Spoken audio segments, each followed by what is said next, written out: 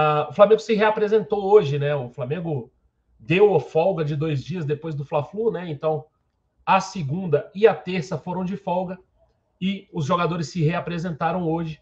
O Flamengo hoje tem oito desfalques, né? São seis jogadores convocados é, para o próximo jogo, né? Seis jogadores convocados, dois jogadores que foram expulsos. E hoje a, a notícia, né? A principal notícia na reapresentação é a ausência de dois jogadores, né? Que em tese jogariam contra o Fortaleza em tese jogarão contra o Fortaleza, que é o Santos e o Thiago Maia. Os dois fizeram é, trabalhos internos, né? Trabalhos na academia. É, mas isso não tem nenhum problema, eles não estão sentindo nada. Se trata apenas daquele controle de carga que o Flamengo realiza ali com os atletas toda semana. É, e além disso, também tem notícias sobre o Rodrigo Caio, né? O Rodrigo Caio em processo de recuperação aí, de é, processo final de recuperação da lesão lá no joelho né? Não foi a campo nessa quarta-feira também, ele já está alternando trabalhos em campo com trabalhos na academia. Nessa quarta-feira ele ficou na academia. É... Olha aí, rapaz, chegou o homem, chegou o homem, o homem está aí. É... Trabalhando pouco a criança. chegou agora. Pela cara, chegou agora. É... E aí a gente vai ter essas ausências, né? A gente vai ter, né? teve essas ausências na, na reapresentação não, não diz muita coisa, né? Porque o, o jogo é só daqui, sei lá, são 10 dias, né? Para ter outro jogo, sei lá quantos dias vai ser essa data FIFA. Os jogadores aí estão sendo monitorados para fazerem aí é, esse trabalho de carga. É, pela, pela reapresentação, e aí eu vou dar uma boa noite para o Alan, é, eu queria saber de vocês a, a questão do próximo jogo, né? A gente já tem a informação de que os jogadores serão guardados, né? E tal. É, eu interpretei como guardados. Não é que eles não vão jogar nunca mais até a final, eles vão jogar, mas claro, cada um dentro de um limite razoável, não vai desgastar ninguém, né? A preocupação realmente é para o próximo jogo, né? Que aí a gente tem aí seis jogadores fora pela seleção, dois expulsos. E esses dois que, treina, que não treinaram hoje, vocês veem alguma preocupação e tal? Primeiramente, vou dar aí uma boa noite para o meu amigo, meu irmão Alan Garcia. Como é que você está, irmão? Chegou tranquilo? Tá tudo certo? Boa noite, Marcão. Boa noite, Rafinha. Boa noite, rapaziada. Não, não cheguei tranquilo, não cheguei legal, mas cheguei, consegui chegar. E vamos que vamos, rapaziada. Ainda nem troquei roupa, não consegui tomar banho, não consegui fazer absolutamente nada. Eu acabei de entrar no quarto.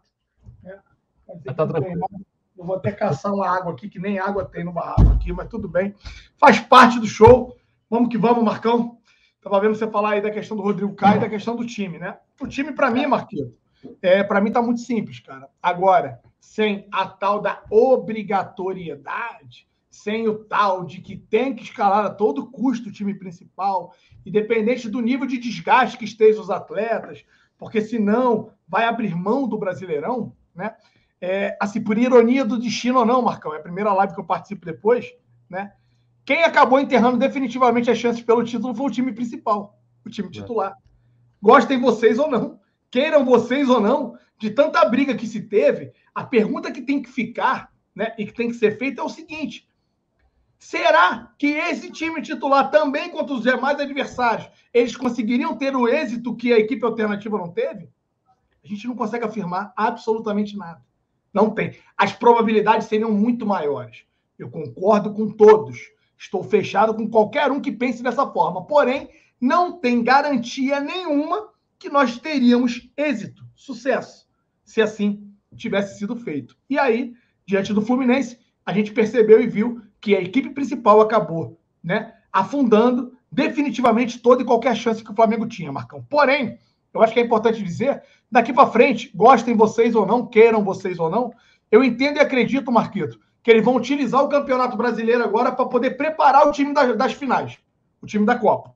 Então, eles vão acompanhar o nível de desgaste, Está tendo uma semana aí, eles deram dois de folga para os atletas. Os atletas vão se representar agora, vão trabalhar a parte física, né? Vão trabalhar ali a questão, né? Tática, é né? colocado aqui para frente. E os atletas vão jogar né, de forma alternada, na minha opinião, para manter o ritmo de competição, para se manter na sua melhor forma, para que possam chegar muito bem fisicamente para as partidas decisivas. E nós temos, né, quem sabe, é, não vai ser quatro, né? Pode ser aí, porque tem uma semi ainda. Teremos, então, vamos colocar aí, se Deus quiser, teremos cinco partidas decisivas, galera. Cinco. duas pela Copa do Brasil, uma pela Libertadores, e apesar que não é mais esse ano, né? Já Aí é só o Mundial é só em março. Só em março. Então tá. Então nós vamos ter três partidos decisivos ainda em 2022, Marcão, já que o Mundial ficou para ano que vem. Rafinha, ficou, vai ficar meio estranho para escalar esse time, né? Esse time para o jogo do Fortaleza, né? Imediatamente agora esse time. É, eu queria que você falasse um pouco sobre esse jogo do Fortaleza e também sobre a sequência, né? Se você acha que realmente esses jogadores vão, vão ser preparados para as finais e tal, ou não. Né? Muita gente falando do jogo do Internacional, né? Porque a gente tem Fortaleza, é, acho que é Fortaleza, Bragantino. Bragantino, Inter e Cuiabá. Inter e Cuiabá, é. Estão dizendo que esse jogo do Internacional a gente pode ter o time completo, né? Porque aí seria uma semana antes do jogo é, da primeira final, né? O pessoal aí tá, tá, tá meio que confabulando com relação a isso. Queria saber sua opinião sobre isso aí. A preocupação maior é o jogo contra o Fortaleza mesmo. Não, mas como eu vou te falar, cara, eu acho que a, eu vou muito seguir a, a linha de raciocínio do Alan, que o brasileiro deixou de ser um objetivo a ser conquistado e passou a ser uma competição na qual nós vamos preparar o nosso time para jogar os reais objetivos, que é a final da Copa do Brasil em dois jogos e a final da Libertadores. Então, é, se o brasileiro deixou de ser um objetivo, eu não vou chegar aqui com uma grande preocupação em relação ao jogo contra o Fortaleza. É lógico, o, Dorival terá muitas dúvidas, é, porque além das seis convocações, nós tivemos duas expulsões no último jogo de dois jogadores que fatalmente jogariam. O time reserva, o tal do time B, o time do brasileiro do Dorival, ele passa por dois jogadores, dois pontas. É um time que joga num 4-3-3. Joga o Cebolinha pelo, pelo lado esquerdo de ataque e o Marinho pelo lado direito de ataque. Então, é, vai ser um jogo difícil de armar o time. Mas por mais que seja um jogo difícil, o jogo do Flamengo vai até ter dificuldade para conseguir pontos. O campeonato que se apresenta para o Flamengo hoje torna esse jogo pouco importante. E aí, de novo, seguindo mais ou menos essa linha do, do Alan, é, a nossa, eu tenho falado muito sobre isso. É, você arrisca o time, você coloca o time titular para jogar múltiplas competições, quando você tem uma relação de risco e retorno boa. É, a verdade é que hoje, pensar em colocar o time principal no brasileiro, considerando que a nossa chance de título é remota, não tem uma. não é muito racional. Infelizmente, cara, tem que falar a verdade. Eu sei que muita gente entende que não, é Flamengo, se tiver 1% de chance. Eu acho que eu acho que para mim a estratégia está até bem coerente e bem desenhada.